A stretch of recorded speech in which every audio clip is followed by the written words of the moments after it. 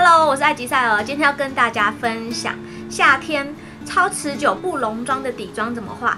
只要手法对，然后使用的产品对，就可以让你夏天摆脱底妆土石流的困扰。请看接下来的分享。首先呢，我会先擦一个我觉得成分 OK 的防晒，就大概挤压一下。那我擦防晒的时候呢，我会先在脸上点均匀再擦。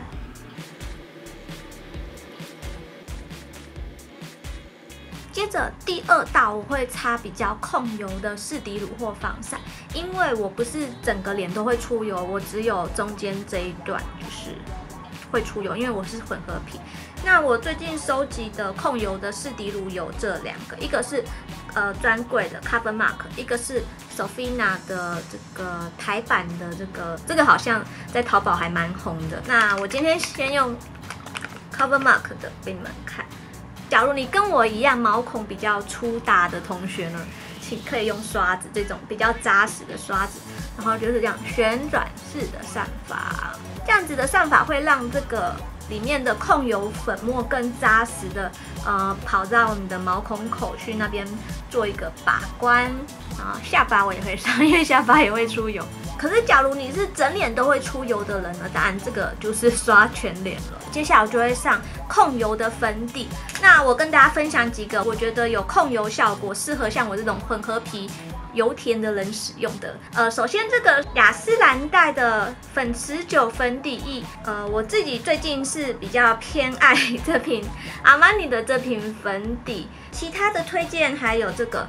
Cover Mark 跟这个 Sofina 的这个泰国品牌有这个 Misting 这个植村秀这一瓶的话，我觉得还蛮适合毛孔粗大的那种容易出油的皮肤用的。那我今天就用我最近的新欢阿玛尼这一瓶粉底液来做打底。这瓶粉底液可能网络上会建议说用手上就好了。可是呢，根据我的实验，我发现这瓶用刷子上比较漂亮。你们可以看我粘的时候，我不是一整个这样粘下去，我是只有粘前端一点点这个位置而已。就是我基本上我都是从脸中开始上，然后就是旋转式、抛光式的上法。可以看到阿玛尼这瓶是有点半雾面的妆效，然后可是上上去之后还是会带着微微的肌肤天生的光泽感，不会整个都是雾表的样子。然后遮瑕度算中等。然后，可以看现在左右脸的那个差别，就是它对毛孔是有修饰度的，而且对黑眼圈也是有些许的修饰度。接下来我要上蜜粉，呃，控油的蜜粉的话，我自己还蛮喜欢 Laura Mercier 或是 Cover Mark 这一款。那我今天就用 Laura 的蜜粉来跟大家分享怎么使用这个蜜粉定妆。你就先这样沾。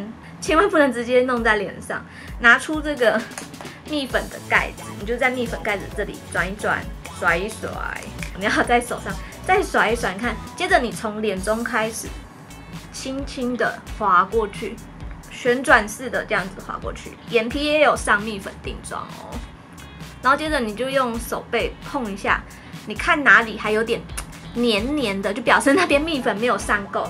所以就再一次这个步骤，看它还有一些余粉，然后就是一样旋转式的。可能刚上完这样还没出油的时候呢，你的脸会比较死白一点。但是当你的油脂出来之后，跟你的皮肤呃融为一体之后，你的妆感就会变成比较偏奶油肌的质地。其实我这个手法它并不会本人看到妆后，它是觉得你的妆比较完美的那种感觉。接着你就是开始用。这个剩余的这样在你的毛孔这里打，就是会会刷出一种光泽。接下来就是第二道蜜粉，我现在刚不小心试上了一下，就是你要挑这种有点能看得到吗？这有点粉粉的蜜粉，就是呃比较浅色调的蜜粉，譬如说粉色系、紫色系的蜜粉都可以。然后你就是可以拿这种海绵，就是轻轻的点在这个位置哦，然后法令纹的。位置，现在处于一种很好笑的状态。然后眉毛上方，我挑的这一款它比较透明一点，所以我可能上上去可能你们看不清楚，所以我我故意上比较厚。好，这样你就可以开始化妆了。那我个人习惯，就化完底妆，刚化完底妆之前，我就会先上护唇膏。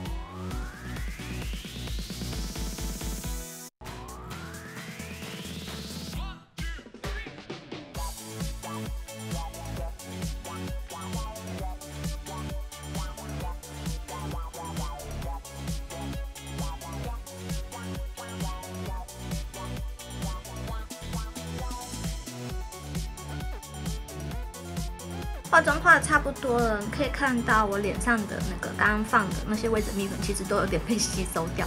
然后记得拿一个干净的刷子，拼命的把多余的粉给刷掉。然后接着就可以上腮红跟修容。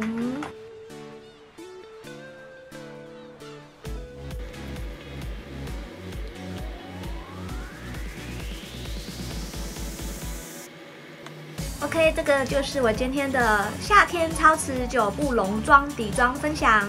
重点就是产品要用对，然后手法要用对。大家下次见喽，拜拜。